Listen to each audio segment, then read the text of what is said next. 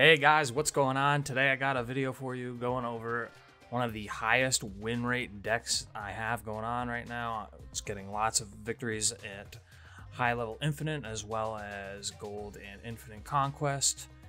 Uh, it's targeting the Galactus and Miss Marvel interaction as well as just taking advantage of lane lockdown with Professor X and Alioth. So this is Marvel at Galactus. Let's get into it. Uh, there are many ways to win with this deck, and your course to victory and cubes is not only reliant on Galactus in this deck, although that is one of the primary ways. You can lock down a lane, and then Alioth and Death.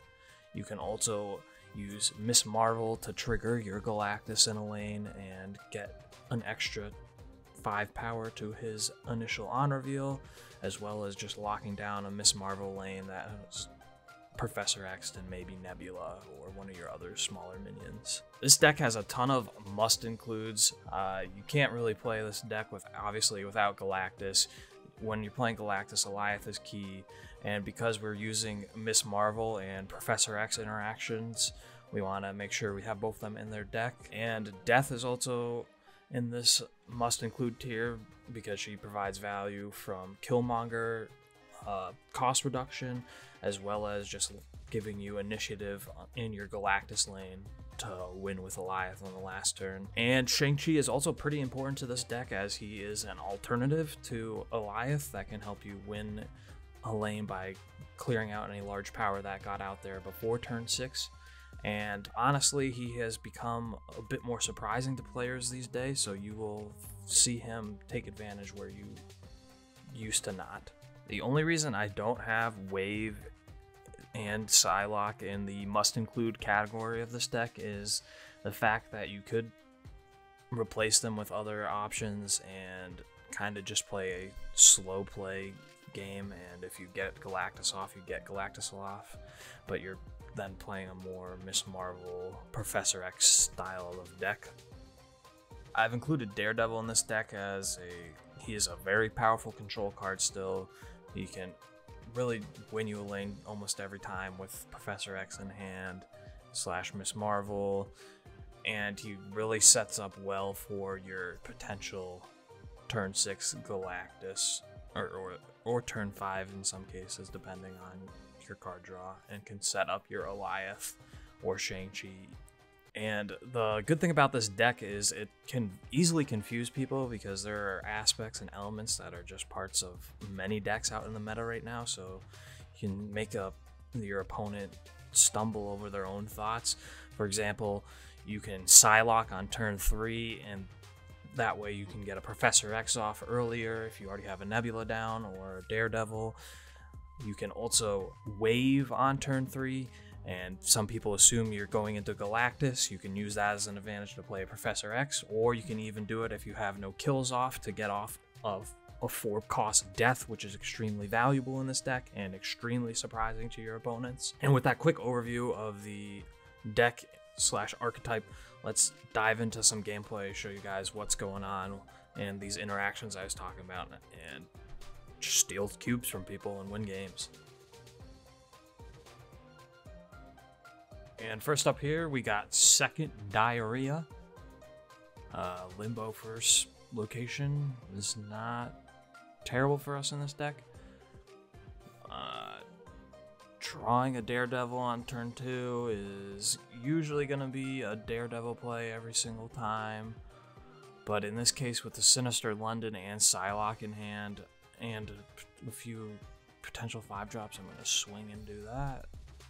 And unfortunately, we didn't get what we were looking for in our draw. But we do have five mana here, and quite an interesting hand. So I think we're probably gonna we're we're gonna go the forge and wave route here. This is gonna get us a lot of power on the board pretty quickly here. And if there's an off chance that we draw Professor X here, and we do draw Professor X here, we're just going to be able to lock down this guy from playing the game pretty much, I would say, with uh, us having priority here. You shouldn't have any really big plays here, being the bounce deck and the Black Widow 5 cost in the right lane isn't going to be enough. He shouldn't be able to, to do anything to sway us and lose. I think the only thing we have a chance of losing to is Jeff here, and we don't have any great plays in our hands at this point, so I'm just going to pass on turn 5.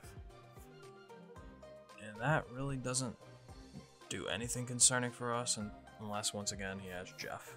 And I'm just playing assuming he doesn't have Jeff. And he annihilates a hood over to us and locks us down from playing anything, but he still hasn't played Jeff, and I'd assume he would have at this point. So, oh, and that's it. That's a first victory right there. And that's seven cubes. Let's move on to the next match. Next up, we got AK the Great here. Uh, TVA first location is not great for us in a late game deck. Uh, but we'll just go ahead and do the standard Daredevil play on turn two. Most value. With Wave, we have opportunities to get some of our higher cost cards out before this game ends.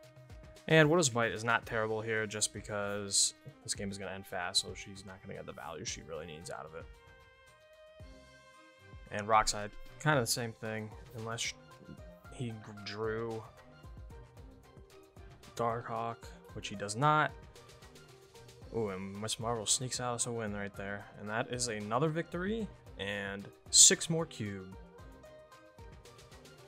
And next up we got Donus 88. Uh, Collapsed Mine is not great for us, but with Death in hand, it is extremely good for us. Shayna is not really terrible.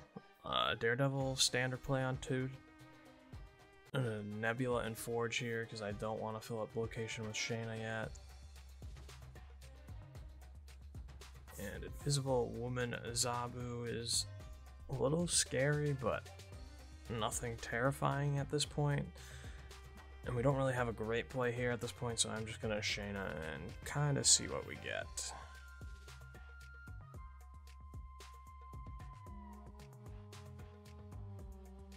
Right, that's uh, it's about par, I guess, for what Shayna can give you.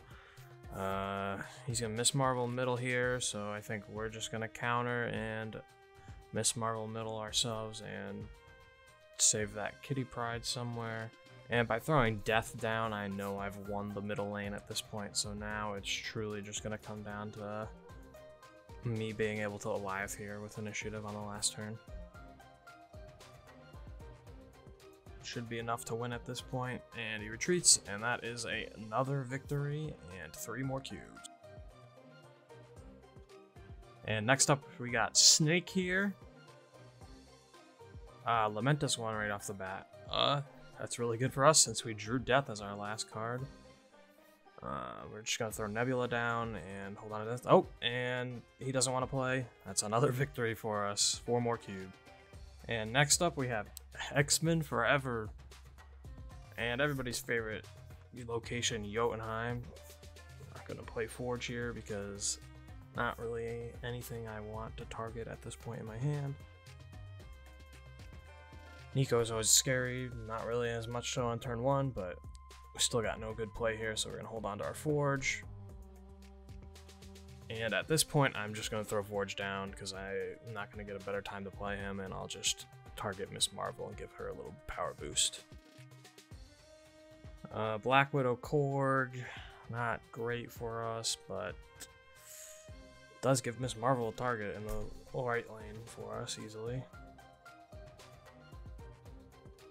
And we're gonna have to play around this werewolf by night here. I think the best play is likely to just throw the Killmonger down and get rid of some of his one drops. And he goes with an Iron Lad into a Falcon, which doesn't really do anything, so he's gonna win that lane. But I'm just gonna go ahead and play Death on that lane and assume he's gonna jump the werewolf away and try to win something else here.